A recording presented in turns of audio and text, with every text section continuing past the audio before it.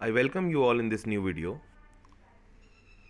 आज हम समझते हैं what is the difference between serum and plasma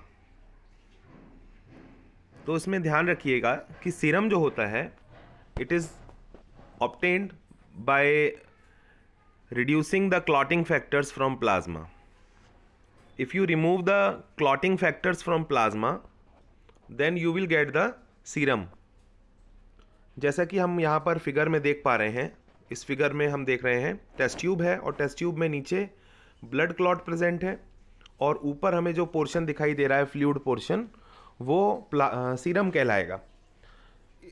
इस फ्लूड पोर्शन में क्लॉटिंग फैक्टर्स नहीं है, क्योंकि क्लॉटिंग फैक्टर्स जो हैं, उन्होंने क्लॉट को फॉर्म करने में हेल्प की है। तो क्लॉटिंग फैक्टर्स तो ब्लड क्लॉट में प्रेजेंट है। सीरम में वो एबसेंट है। तो इसलिए हम कहते हैं serum is the liquid part of blood after coagulation. तो कोएगुलेशन मीन्स क्या होता है? कोएगुलेशन मीन्स होती है ब्लड क्लॉटिंग तो यहाँ पर देखिए, इस फिगर में ब्लड क्लॉटिंग हो चुकी है और ऊपर जो फ्लूड पार्ट बचा है, उसको हम क्या बोलते हैं? उसे हम बोलते हैं सीरम इस वाले फ़र्स्ट फिगर में, ठीक है? और सेकेंड फिगर में आप देखो, यहाँ पर यहाँ पर क्या हो रहा है सेकेंड फिगर में? टेस्ट ट्यूब में हमें दिखाई दे रहा है, सबसे नीचे आर हैं। उसके ऊपर डब्ल्यूबीसी और प्लेटलेट्स हैं और सबसे ऊपर प्लाज्मा है। तो जब हम ब्लड के पोर्शंस को सेपरेट करते हैं तो सबसे नीचे सेटल डाउन हो जाते हैं आरबीसी उसके ऊपर आ जाते हैं डब्ल्यूबीसी और प्लेटलेट्स और सबसे ऊपर आ जाता है प्लाज्मा जो कि fluid part of the blood होता है।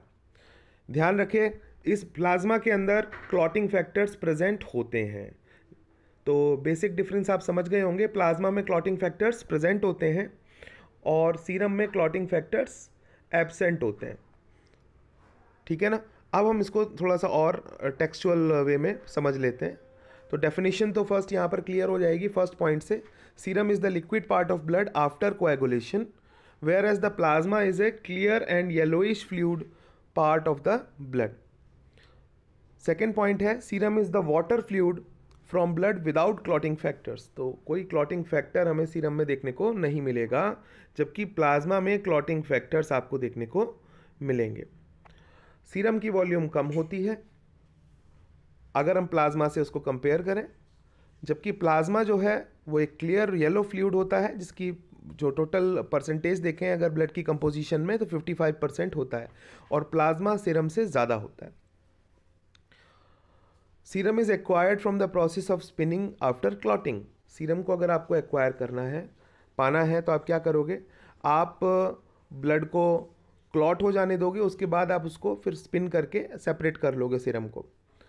तो सेंट्रीफ्यूज में स्पिन करके ब्लड की टेस्ट ट्यूब को हम उसको अलग कर लेंगे क्लॉट से।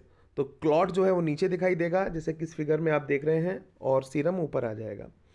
जबकि प्लाज्मा को कैसे सेपरेट किया जाता है? Plasma is acquired from the process of spinning before clotting तो यहाँ पर क्लॉटिंग नहीं होने देंगे हम। एंटी कोएगुलेंट ऐड करेंगे ब्लड में। तब जा कर के हम उसको स्पिन करके प्लाज्मा को ऑप्टेन कर सकते हैं। प्लाज्मा सबसे ऊपर हमको दिखाई देगा। तो स्टूडेंट्स आई होप कि ये जो पूरा का पूरा हमारा वीडियो था, इसका जो ऑब्जेक्टिव है वो पूरा हुआ होगा।